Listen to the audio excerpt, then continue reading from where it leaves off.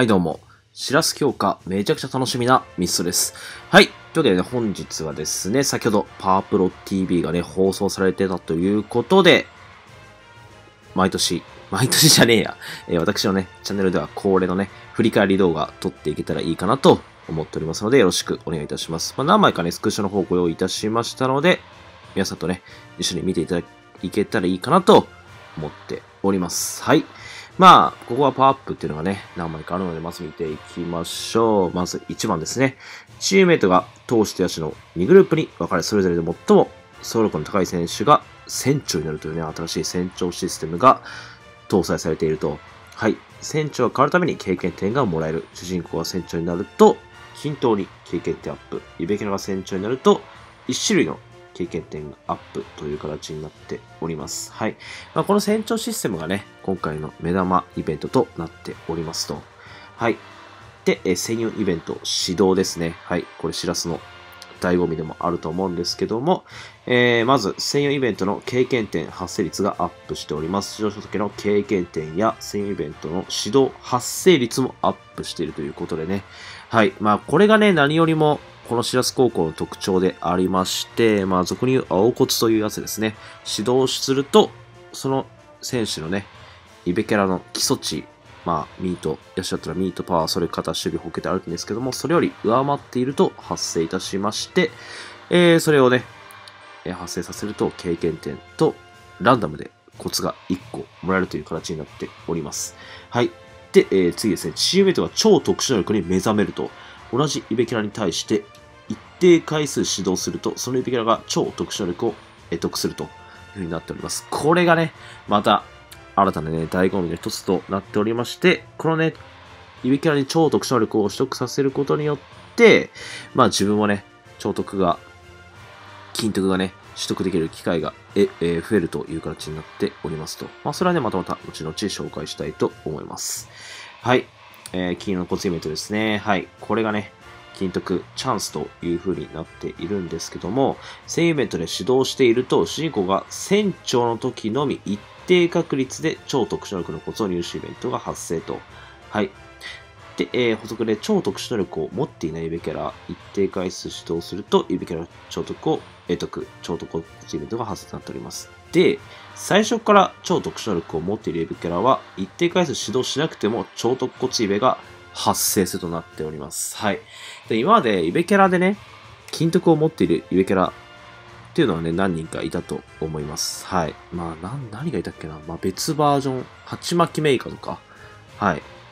えーメンタバレすると今回のね、鈴木くんも、えー超特殊力持っているという風になっているんですけども、今回のシラス強化は、この金徳を持っているイベキャラをデッキにセットすることが、えーキーポイントになってきそうかなという風に感じになってますね。はい。いや、これはね、また新たなね、視点で見てるなという風に思いましたし、金徳持っているイベキャラ、まあ、まとめみたいなのもね、えー、後ほど作れたらいいかなと思ってるんですけども、まあ、これはこれでね、面白い試みかなと思っておりますね。はい。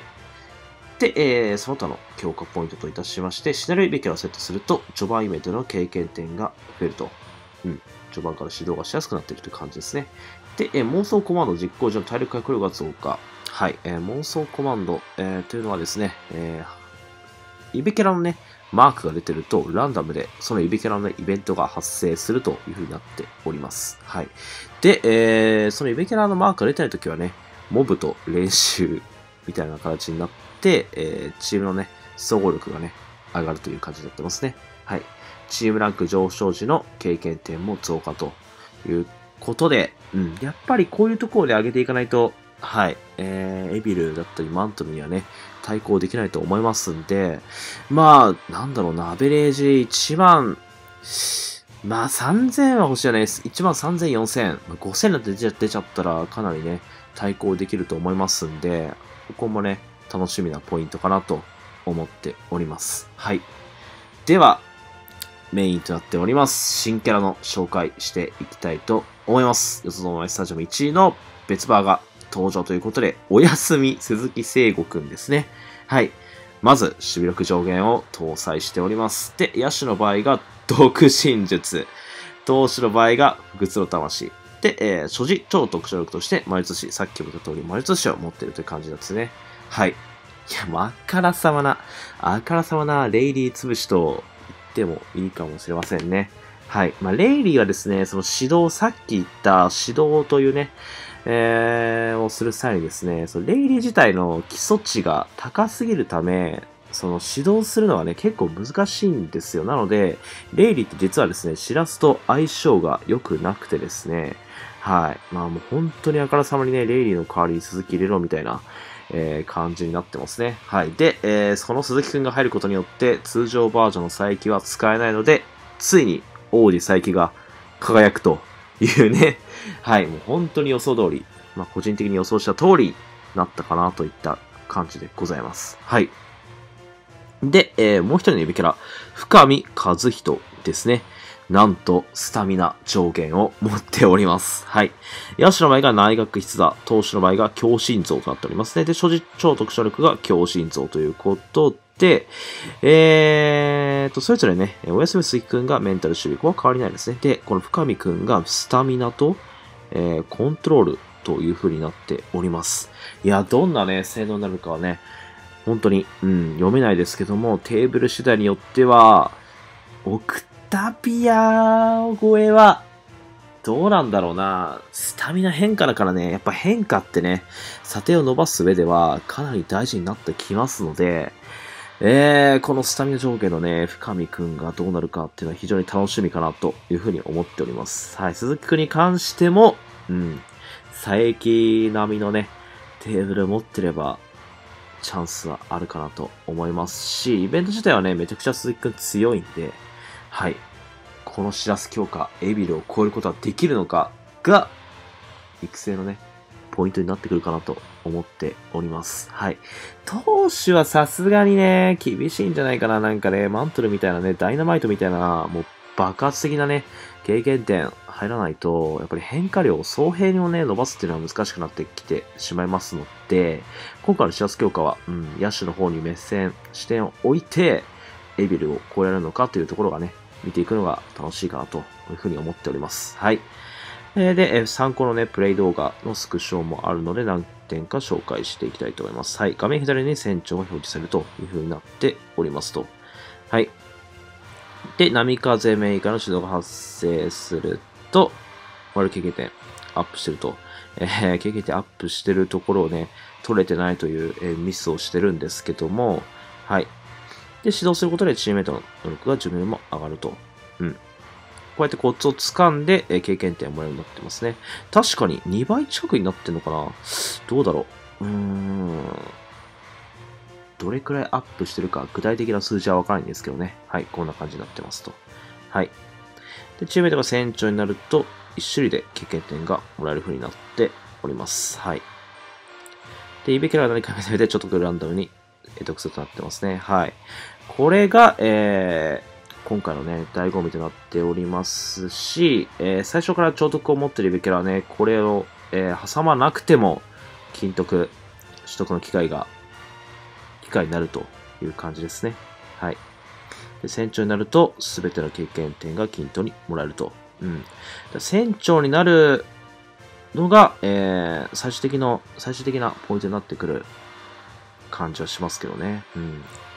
で、別の超得をランダムで、えー、取得して、えー、この黄色にね、輝く、このマス、お知らせにもあったこのマスを、えー、踏むとですね、えー、シェンツの時にのみ発生して、なんか二人がシンクロしてますね。で、こういうね、精神的支柱がもらえると。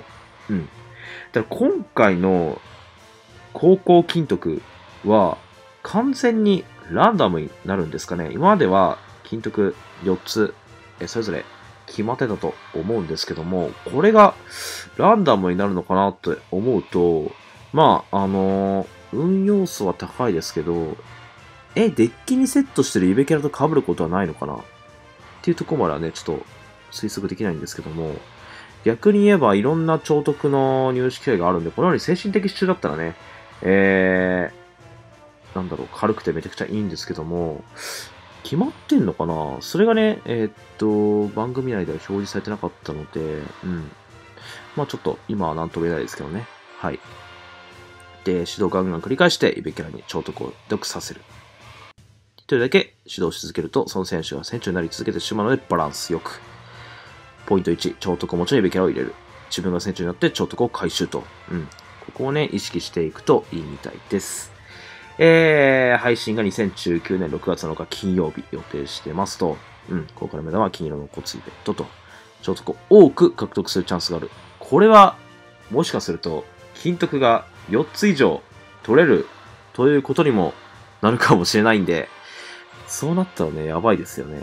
うん、夢の金徳、リベキュラーと合わせて11個以上という時代になるかもしれませんね。はい。っていう今回のね、ざっとしたまとめスクショだったんですけども、ちょっと不確定要素もね、えー、っと、なんていうかありましたので、まあ、あの、それはね、えー、番組放送時に、番組じゃねえや、えー、っと、投稿がね、配信された時に実際にね、プレイして確認していけたらいいかなと思っております。うん。この取れるコツ、金徳がね、非常に気になりますね。うん。精神的支柱とか、総力バースト、うん、を入手してるとこもあるので、えーと、とりあえず、これが確定という風になればね、モネちゃんもちょっと入れづらい、みたいな感じになっちゃうんでね、えー、この金徳が何個、最大何個、そして何種類もらえるのかっていうのが、一つの疑問になってくると思いますんで、はい。まとりあえず、あのー、6月7日金曜日をね、待とうという感じですね。はい。まあ、何かね、皆さんも意見等ありましたら、コメント欄等でお願いいたしますと。はい。では、今回の動画以上で終わりたいと思います。少しでもね、参考になっていただければ幸いでございます。ぜひ、チャンネル登録と高評価のほどお願いいたします。はい。では、失礼します。See you!